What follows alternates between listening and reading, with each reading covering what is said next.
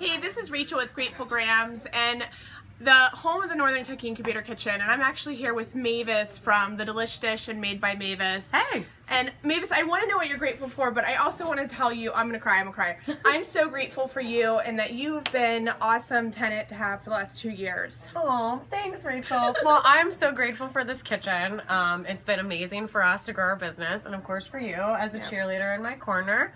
Um, so grateful for the kitchen, and grateful for my awesome team, and grateful for Jam. Yes, the best jam. Seriously, best you guys. Um, you can pick them up at Kroger's through the state of Kentucky, yeah. Whole Foods, all kinds of places. Check out Made by Mavis. Um, they're on Facebook, Twitter, Instagram, all of those things. So MadeByMavis.com. Thanks so much. Thanks. Stay grateful.